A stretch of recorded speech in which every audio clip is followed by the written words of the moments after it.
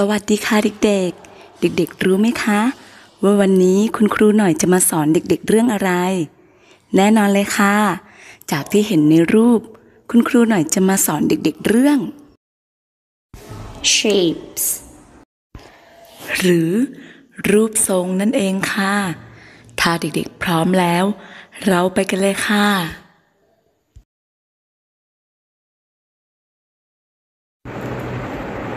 shapes shapes รูปทรง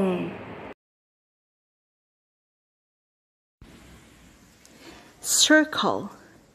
circle วงกลม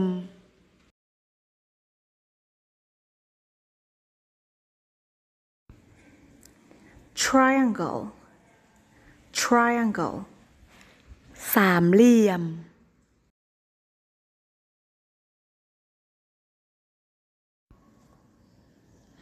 rectangle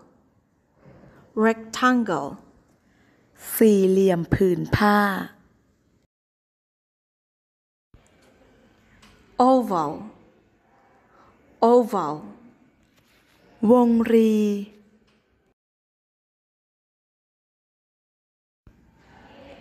square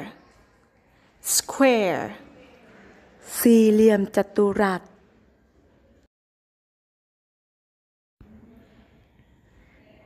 star star ดาว heart heart หัวใจ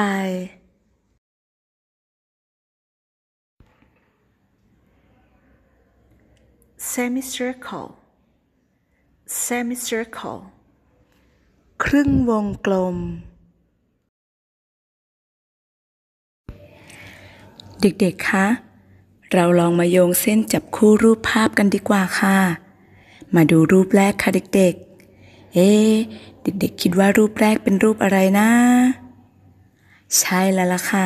เป็นรูปโต๊ะนั่นเอง เด็กๆ คิดว่ารูปโต๊ะจะเหมือนรูปทรงอะไรคะ ถูกต้องแล้วค่ะเด็กๆ เหมือนรูปทรงสี่เหลี่ยมผืนผ้านั่นเอง เด็กๆ โยงไปพร้อมกับคุณครูเลยค่ะ ต่อไปเป็นรูปส้มค่ะเด็กๆ รูปส้มเหมือนรูปอะไรนะ ถูกต้องแล้วค่ะ เหมือนรูปวงกลมนั่นเอง แล้วมาดูรูปไข่ไก่กันค่ะเด็กๆ เด็กๆคิดว่า รูปไข่ไก่ เหมือนรูปอะไรคะ ใช่แล้วค่ะ เหมือนรูปวงรีนั่นเองค่ะ สุดท้ายแล้วค่ะเด็กๆ เด็กๆ มาดูรูปปลาดาวค่ะ เอ๊เด็กๆ คิดว่ารูปปลาดาว เหมือนรูปอะไรนะ ถูกต้องแล้วค่ะเด็กๆ เหมือนรูปดาวนั่นเอง